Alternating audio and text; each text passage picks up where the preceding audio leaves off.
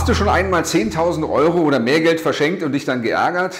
Nun, damit dir das nicht passiert, bist du heute hier richtig zum Thema Gründungszuschuss, Gründe für Ablehnung. Meine Aufgabe als Geschäftsführer des X-Group Instituts für Gründung, Finanzierung Geschäftsentwicklung wird es sein, dir die Hauptgründe für die Ablehnung aufzuzeigen, damit du dich vorbereiten kannst, damit du diese Gründe vermeiden kannst, damit du es richtig machst. Nun, sicherlich wird das Ganze, hier dieses Video anzugucken, die Fehler vorzubeugen, den Businessplan, Finanzplan zu erstellen, die Anträge auszufüllen, ja, das wird Zeit kosten. Vielleicht 40, vielleicht 30 Stunden. Nun, auf der anderen Seite kriegst du aber insgesamt 10.000 Euro. Und wenn du diese 10.000 Euro teilst durch die 40 Stunden, welchen Stundensatz hast du dann? Richtig, ungefähr 250 Euro und das ist ein super Deal. Nun befassen wir uns nun mal mit diesen Gründen, warum so viele Menschen eine Ablehnung bekommen auf ihren Antrag auf Gründungszuschuss. Der erste Punkt ist, dass diese Entscheidung deines Antrags eine Ermessensentscheidung ist. Es entscheidet tatsächlich dein Sachbearbeiter gegenüber, ob er es macht, also über Top oder über Flop. Und vielleicht hilft es dir, dass du verstehst, dass in dem Moment dein Sachbearbeiter auch nur eine Art ja, Versicherungsberater ist, denn du hast ja als Arbeitnehmer Arbeitslosenversicherung einbezahlt und er entscheidet jetzt über eine Bewilligung. Also ich halte das auf der einen Seite fraglich, aber auf der anderen Seite kann man auch den politischen Willen dahinter verstehen, dass du wieder zurückgehst in die angestellte abhängige Beschäftigung und via Lohnsteuer und Sozialversicherung zahlst. Also merk dir einfach Ermessensentscheidung. Was bedeutet das? Wenn du dich dann nicht kooperativ verhältst mit deinem Sachbearbeiter redend die Auflagen und die Termine und die Fristen nicht erfüllst, also ihn zum Feind machst, nun, dann, dann wird er gegen dich arbeiten und innerlich schon sagen, der kann mir abgeben, was er will. Ich finde schon einen Grund, den abzulehnen. Also von daher halte ich kooperativ. Und dazu gehört zum Beispiel, dass du trotzdem deine Unterlagen hochladen musst, deinen Lebenslauf aktualisieren und dass du auch Bewerbungen durchführen musst, damit der Sachbearbeiter seine Pflicht erfüllt. Da sind wir jetzt schon beim nächsten Grund. Der nächste Grund ist, dass du zu wenig oder keine Bewerbungen gemacht hast. Warum ist das so? Nun, der Sachbearbeiter, der dir gegenüber sitzt, der darf natürlich nicht einfach frei schalten und walten, wie ihm gerade lustig ist, sondern er hat eine interne ermessenslenkende Weisung, wo drin steht, erst, lieber Sachbearbeiter, prüfe den Arbeitsmarkt, ob der Kunde, du, vermittelt werden kann. Und erst wenn das nicht gelingt, dann kommt der Punkt Nummer zwei. Erst dann darf er dich unterstützen, Gründungszuschussmittel zu beantragen Maßnahmen bewilligen, die dich dann in deine Selbstständigkeit bringen und fördern. Was bedeutet das nun? Das bedeutet, dass der Sachbearbeiter die ersten ein, zwei Monate mit dir zusammenarbeiten muss, dir Vermittlungsvorschläge machen muss, du dich bewerben musst und das auch dokumentiert beweisen musst, dass du drei, vier, fünf Bewerbungen im Monat auch ablieferst, die negativ sind. Warum ist das so wichtig? Weil auch der Sachbearbeiter hat über sich einen Teamleiter, Bereichsleiter, Geschäftsleiter. Und die prüfen natürlich nach unten, ob diese intern ermessenslenkenden Weisungen durchgeführt worden sind.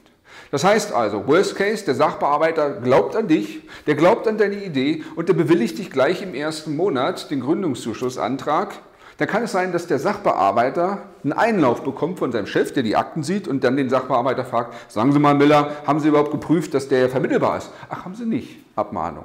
Also arbeiten Sie mit dem Sachbearbeiter zusammen, dass der auch aus seiner Sicht alles richtig macht. Denkt dran, unsere Behörden sitzen voll mit Menschen, die alles richtig machen wollen.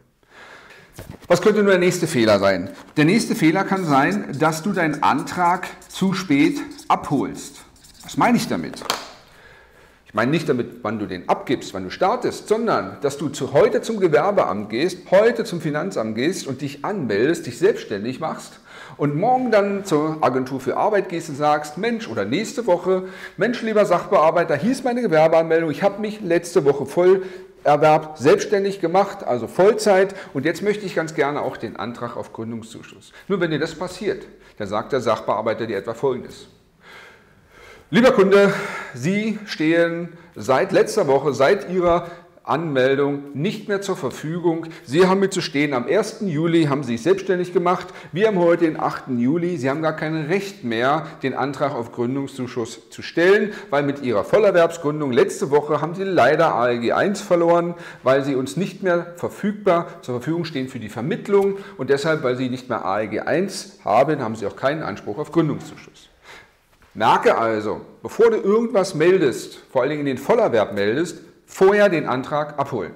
Und dann steht auf diesem Antrag auch ein Datum drauf. Tag der Antragstellung ist nicht, wann du es abgibst, sondern wann du ihn abgeholt hast. Okay, dann wechselst du intern bei der Agentur für Arbeit auch so die Abteilung von erster Arbeitsmarktvermittlung in, macht sich selbstständig und du kriegst auch keine oder weniger Vermittlungsvorschläge. Das ist also der nächste Fehler. Kommen wir nun zum vierten Punkt. Hier ist es nicht, dass du den Antrag zu spät abholst, sondern zu spät abgibst. Denn es gibt eine sogenannte Frist von 150 Tagen, die, wenn das dein Bewilligungszeitraum für ALG 1 ist, in der Regel 12 Monate, kann auch mal 15 oder 18 sein, wenn das also deine 12 Monate hier sind, dann sagt die Agentur für Arbeit oder beziehungsweise das Gesetz dahinter sagt, dass du mindestens 5 Monate, also 150 Tage, musst du noch zur Verfügung haben, bevor du dann hier deinen Antrag abholst. Was bedeutet das? Wenn du am 01.01.2000 dein, deine ALG 1 Bewilligung bekommst, das heißt, du hast einen Brief zu Hause, sie haben ALG 1 und beziehen die und die Summe, dann hast du theoretisch eine Laufzeit bis zum 31.12. des Jahres. Und nun musst du vom Dezember, Dezember, November, Oktober, September, August zurückdenken und dann wirst du feststellen, dass du im Juli noch die Chance hast, dich anzumelden, aber im August du schon zu spät bist. Das bedeutet also 150 Tage. Ein Tag später heißt kompletter Verlust des An der Fördermittel auf Gründungszuschuss, weil der Antrag gar nicht mehr formell überhaupt gestellt werden kann, weil die Frist abgelaufen ist. Der nächste Grund ist, dass du den größten Fehler machst, den fast alle Unternehmer und Gründer machen, wenn sie irgendwo Geld haben wollen, Fördermittel beantragen. Sie vergessen nämlich zu überprüfen, dass 100% Vollständigkeit der Unterlagen gegeben ist. Was meine ich damit? Wenn du die anderen Videos hier angeguckt hast, dann weißt du, dass hier nicht nur ein Businessplan gefordert ist, nicht nur ein Finanzplan auf 36 Monate, sondern du brauchst auch Lebenslauf. Du brauchst beispielsweise auch Zeugnisse, Zertifikate, vielleicht einen Nachweis für ein Existenzgründungsseminar. Vielleicht brauchst du noch eine fachkundige Stellungnahme, die kleine und die große. Das heißt, du hast eine ganze Latte von Punkten, die du abgeben musst und das macht tatsächlich erst Sinn, deine Unterlagen abzugeben, wenn es 100% vollständig ist. Was passiert ansonsten? Nun, du kriegst entweder eine Ablehnung oder du kriegst die Antrag, Antragsunterlagen wieder mit und das verzögert sich alles und du hast, wirst dann sofort abgemeldet von ALG 1, hast aber den Gründungszuschuss noch nicht, dann hast du Liquiditätsprobleme privat. Also das können alles die Folgen sein. Deshalb mein Tipp ist, such dir einen Berater oder eine Checkliste oder ein Team von Menschen, die wissen, wie das geht und lass dich beraten, wann ist hundertprozentig alles an Vollständigkeit erreicht. Kommen wir nun zum nächsten Punkt. Der nächste Punkt, da geht es um, um Geld, da geht es um deinen Finanzplan. Es gibt nicht zwei Gründe, weshalb die Agentur für Arbeit deinen, deinen Antrag ablehnen kann. Das eine ist, du verdienst laut Plan, also nicht was du hast, sondern was du postulierst, was du kalkulierst, verdienst du zu wenig. Wenn du also in den ersten sechs Monaten deiner Gründung nicht so viel verdienst, nach Abzug deiner Kosten, die entnehmen kannst, dass deine privaten Lebenshaltungskosten getragen werden können, theoretisch. Wenn du so einen Plan abgibst, wirst du abgelehnt, weil du zu wenig Geld verdienst, laut Plan. Und das Gleiche gilt, wenn du zu viel Geld verdienst. Wenn du nämlich sagst, ich starte nächsten Monat, August, und ich verdiene vielleicht 10.000 Euro und ich habe nur 2.000 Euro betriebliche Kosten, habe ich 8.000 Euro äh, Überschuss, habe ich einen Gewinn, den ich theoretisch mir entnehmen kann. Nach Abzug der gewerblichen Steuern bleiben noch 5.000, 4.000 übrig. Und dann guckt die Agentur für Arbeit, der Sachbearbeiter, auf deine privaten Lebenshaltungskosten und stellt fest, Mensch, der braucht nur 2.000, hat aber 4.000 im ersten Monat. Mensch, das ist ja ein guter Plan, der braucht uns gar nicht. Und die Mittel werden auch abgelehnt. Das heißt also beim Finanzplan, wenn es um Geld geht, deine Einkünfte geht, achte darauf, dass du nicht zu wenig und nicht zu viel verdienst. Wir helfen dir natürlich gerne dabei, diesen richtigen Hochlauf-Planungskanal für deinen Rentabilitätsplan zu entwickeln. Kommen wir nun zum nächsten Ablehnungsgrund. Der nächste Ablehnungsgrund ist, dass deine Geschäftsidee nicht ordentlich recherchiert ist. Was meine ich damit? Wenn die Recherche schlecht ist, zum Beispiel in Bezug auf deine Mitbewerber hatten wir eine Kosmetikerin gesagt hat, ja, an dem Standort, an dem ich mich selbstständig mache, bin ich die Einzige. Nun, auch der Sachbearbeiter in der Agentur für Arbeit hat Google Maps. Und dort kann er auch deine Postleitzahl, die Straße eingeben und dann den Suchbegriff Kosmetik. Und wenn er dann 40 Kosmetikinstitute um deinen Standort findet, dann sagt er auch, das Ding ist nicht recherchiert. Dann wirst du auch abgelehnt. Also von daher mach eine gründliche Markt- und eine Wettbewerbsrecherche und Preisrecherche, bevor du diesen Antrag abgibst, weil die Sachbearbeiter inzwischen das auch überprüfen. Kommen wir zum nächsten Grund, weshalb abgelehnt wird. Und zwar hat das mit dem Thema Scheinselbstständigkeit zu tun. Was meine ich damit? Wenn du von deinem Freund, Bekannten eine Empfehlung bekommst für ein ganz tolles Geschäft, zum Beispiel ein Network-Marketing-Geschäft, um kleine Pülverchen oder Fläschchen zu verkaufen, dann ist es zwar eine tolle Geschäftsidee, weil du wenig Geld einsetzen musst, weil du das nebenbei und von zu Hause aus machen kannst. Du musst nicht 100.000 Euro Anfangskosten und Kapital aufnehmen und dich verschulden. Das ist spitze für so eine Geschäftsidee. Aber die Gefahr ist groß aus der Sicht der Agentur für Arbeit, dass du nur für einen Auftraggeber tätig bist. Und wenn das der Fall ist, dann sieht die Agentur für Arbeit, dass du Scheinselbstständigkeit äh, unterliegst und lehnt das aus diesem Grund auch ab. Also von daher baue dein Geschäft lieber auf ein oder zwei Standbeine auf, wenn du mit anderen Firmenlieferanten zusammenarbeitest. Nun, und ein weiterer Grund ist, so lächerlich er auch klingen mag, ist, dass der Antrag falsch ausgefüllt worden ist. Denn bei diesem Antrag auf Gründungszuschuss darfst du einige sehr wichtige Kreuze machen.